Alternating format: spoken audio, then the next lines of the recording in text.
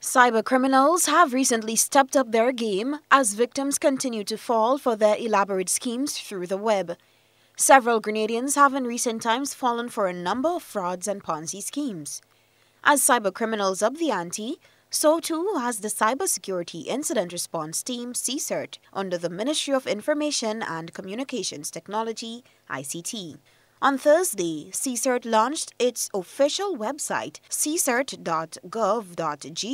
The aim of the website is to provide the public and security professionals with the means to report, discuss, and disseminate computer security related information quickly, accurately, and efficiently.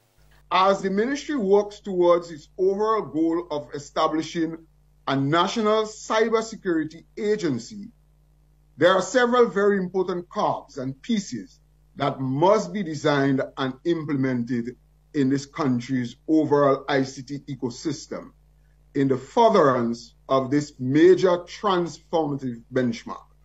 The CSIRT logo and website is another component of this process. That was Permanent Secretary in the Ministry of ICT, Finlay Jeffrey. Jeffrey added that today's launch forms part of the government's transformative agenda of the ICT sector aimed at keeping the online community safe.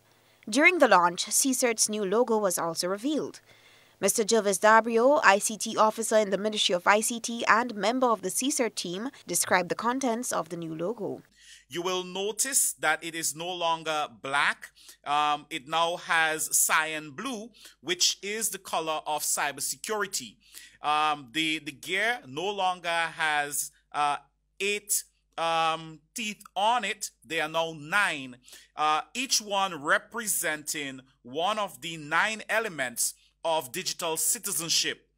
And that is what the CSIRT is all about. So whether it's access, e-commerce, keeping your money safe, online shopping, um, digital well-being, privacy, security, um, pertaining to the law, these are all things that we, in some way or the other, um, whether it's through awareness, or through the information we put out, um, we have some part to play. Mr. Jared James developed CSIRT's website, while Mr. Tyrone Ragbasing designed the new logo when he partook and won CSIRT's logo designing competition.